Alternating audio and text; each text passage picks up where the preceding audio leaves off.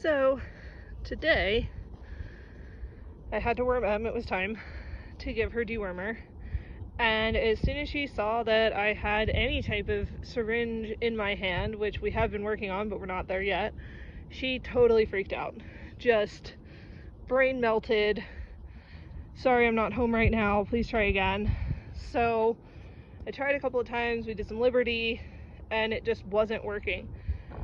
And I was like, well, um, both of us are getting traumatized at this point in time because I was like, I can do this on other people's horses. I do it all the time.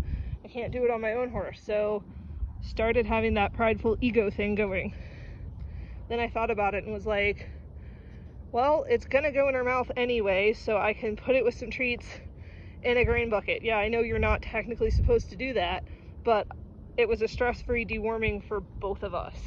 So that's what I'm trying to do is step back out of my own head and start working with the horse I have, with the brain I have.